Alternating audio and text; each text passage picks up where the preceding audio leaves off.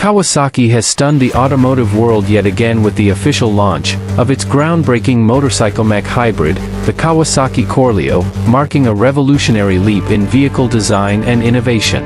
Unveiled at a high-profile event in Tokyo, the Corleo has already been dubbed the motorcycle of the future for its daring combination of AI-driven robotics and high-performance engineering.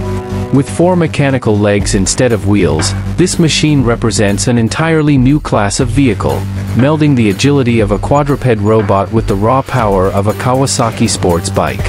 The Corleo is powered by Kawasaki's latest NS engine, series, and an intelligent dynamic stabilization system that allows it to adapt to terrain in real time.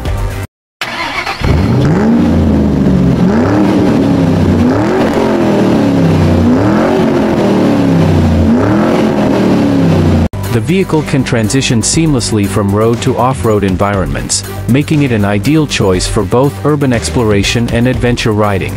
We're not just rethinking transportation, we're reimagining the relationship between humans and machines, said Hiroshi Tanaka, head of advanced mobility at Kawasaki. The Corleo is our boldest vision yet, a vehicle that walks, runs, and reacts like a living creature, yet offers the speed and performance Kawasaki riders love.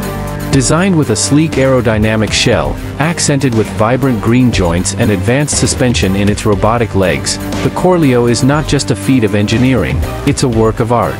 The seat design offers ergonomic support while the intelligent interface allows riders to communicate with the machine through voice commands and motion sensors. While production will initially be limited, Kawasaki has hinted at releasing a consumer version by late 2026.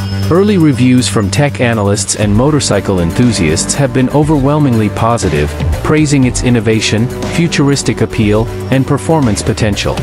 With the launch of the Corleo, Kawasaki has not only opened a new chapter in mobility, it has created a new species of machine. Stay tuned for more exciting news about future technology for moto riders. Don't forget to like, share, and subscribe to support this channel.